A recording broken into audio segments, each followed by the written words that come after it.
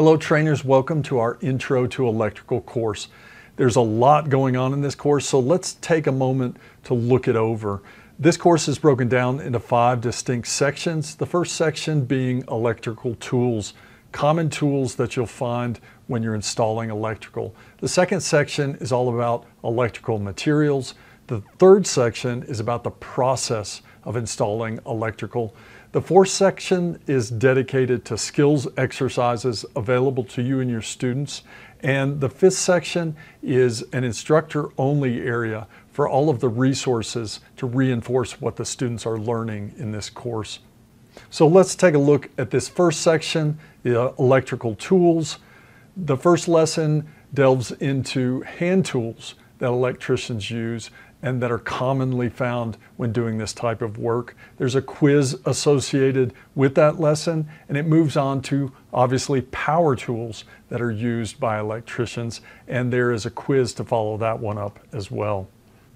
This next section is all about electrical materials. There are two lessons in here, and this covers a lot of your cable, your devices, and all of the pieces and parts we need to make an electrical circuit.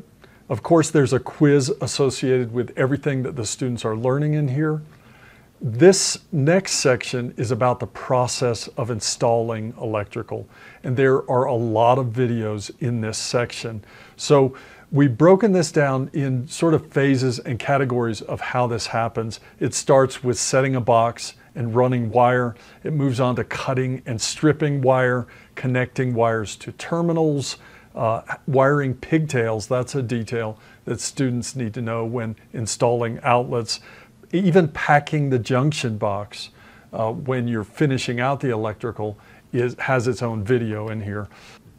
So there are other videos in here dedicated to running different kind of circuits, whether that would be uh, a simple circuit with a duplex outlet or maybe a switch or a two-way switch and a light all of that is covered in this series of video lessons. And there is actually a vocabulary quiz to test students on this process of electrical as well.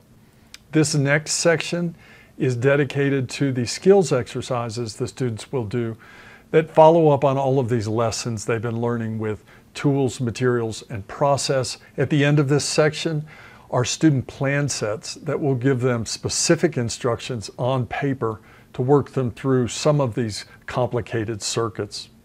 This last section is for you, the instructor only. These are hidden to students, but included in here are presentations, question and answer banks, and also those skills exercise plans, all of it that aligns with the videos, the quizzes, and all of the skills exercises they're being exposed to. So that's a quick overview on a very large course. All of this should lead students to a better understanding of the practices, materials, and tools we use to do electrical wiring. So good luck with your training.